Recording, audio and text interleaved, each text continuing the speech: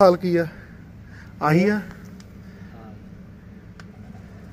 ਇਹ ਦੇਖ ਜੇ ਟਰਾਲੀ ਓਵਰਲੋਡ ਪਾ ਲਈ ਇਹਨੂੰ ਆਰਾਮ ਨਾ ਦਵਾਇਆ। ਇਹ ਇਹ ਜਾਂ ਗੰਨੇ ਦੀ ਟਰਾਲੀ ਪਈ ਨਹੀਂ। ਹਾਂ ਅੱਛਾ ਪਈ ਨਹੀਂ? ਇਹ ਤਾਂ ਚਲਾਈ ਬਹੁਤ ਘੱਟ ਹੈ ਇਹ। ਸਾਲਾ ਬਿਨਾ ਉਹ ਤੋਂ ਹੀ ਕਰ ਗਿਆ ਕੰਮ। ਕੱਦੂ ਵੀ ਨਹੀਂ ਕਰਦਾ ਇਹ ਨਾਲ ਇਹ ਤਾਂ ਅੰਦਰ ਖੜਦਾ ਹੀ। ਕਮਾਲ ਹੋ ਗਈ ਯਾਰ ਮੈਂ ਤਾਂ ਕਿਹਾ ਵੀ ਇਹ ਮਾਡਲ ਮਾਡਲ ਕਿੰਨਾ ਹੋਊ ਵੀਰੇ ਇਹ? ਇਹਨੂੰ ਸਾਲ ਹੋ ਗਏ।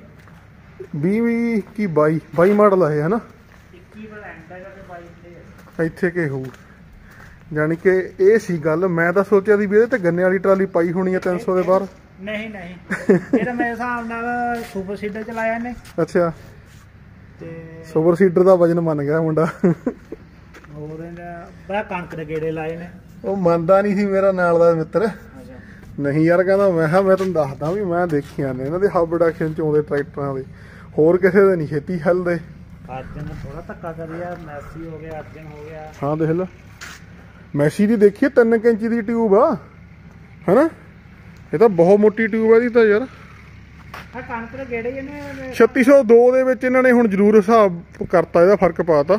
ਮੰਨ ਲਾ 60 ਕਿੱਲੇ ਕਣਕ ਹੈ ਦੋ ਰੇਟ ਤੋਂ ਤਿੰਨ ਲੱਗੇ ਕਿੰਨੇ ਗੇੜੇ ਆਏ ਹੋਣਗੇ? ਇਹਦੇ ਹਿੱਸੇ ਕੁਝ ਵੀ ਨਹੀਂ ਆਇਆ ਹੁਣ। ਜਾਂ ਧਰਨਾ ਦੇ ਨੇ ਕਰ ਲੋ ਕਿ ਉਹਨੂੰ ਭਾਂਡਾ।